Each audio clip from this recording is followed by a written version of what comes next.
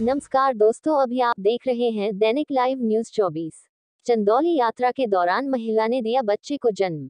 RPF महिला कर्मी व मेडिकल स्टाफ की मदद से कराया गया डिलीवरी। नई दिल्ली से गया बिहार जा रही थी महिला। पुरुषोत्तम एक्सप्रेस के एस छह कोच में यात्रा कर रही थी महिला। लेबर पेन के बाद पति ने आरपीएफ को दी सूचना। सूचना पर आरपीएफ ने महिला को डीडीयू जंक्शन पर उतारा। महिला ने बच्ची को दिया जन्म, जच्चा बच्चा दोनों स्वास्थ्य डीडीयू जंक्शन का है पूरी मामला। Report Nitesh Singh Yadav Chakia Chandauli UP. अनु देवी। कहाँ की रहने वाली हैं? बिहार की। क्या हुआ है? कहाँ से कहाँ जा रही थी? फिर बीच में क्या हुआ? दिल्ली से गाया जा रही थी।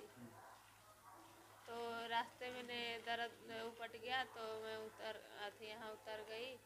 तो बच्चा पुलिस के लोगों ने करा दिए। कैसा लग रहा है? अच्छा लग रहा है हो गया तो।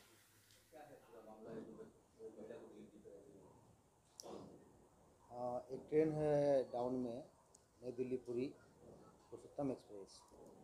वो प्लेटफॉर्म नंबर तीन पे आई थी लगभग पौने दस बजे। और दस बजे खुली थी तो बार बार इसमें रेसिपी हो रहा था। तो हम लोगों ने जाकर देखा तो स्लीपर कोच था ए सिक्स उसमें एक महिला को जो बोनाफाइड पैसेंजर थी उसको काफ़ी लेबर लेबर पेन हो रहा था। और जिसके कारण जो है बार बार सी कर रहे थे लोग।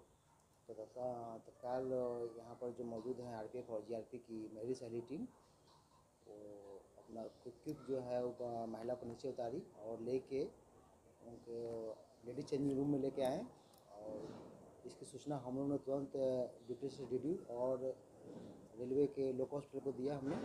जहाँ से डॉक्टर लवली सिंह, महिला डॉक्टर हैं, वो अपने टीम के साथ तुरंत यहाँ पहुँचे और आरपीएफ थाना में ही लेडीज़ चेंजिंग रूम में, जो अपना फाइट पैसेंजर महिला थी, उन्होंने एक स्वस्थ बच्चे को जन्म दिया। अभी दोनों बच्चा और बच्चा स्वस्थ हैं।